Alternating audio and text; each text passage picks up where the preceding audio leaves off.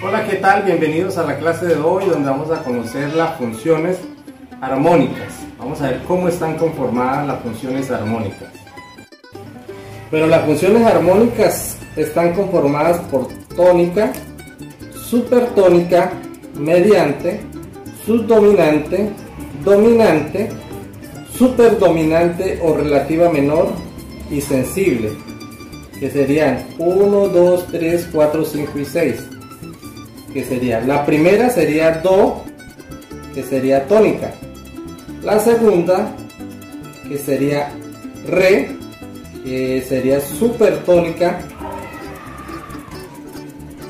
La tercera sería mediante, que corresponde a Mi. La cuarta sería subdominante, que sería Fa la quinta que sería dominante que corresponde al sol.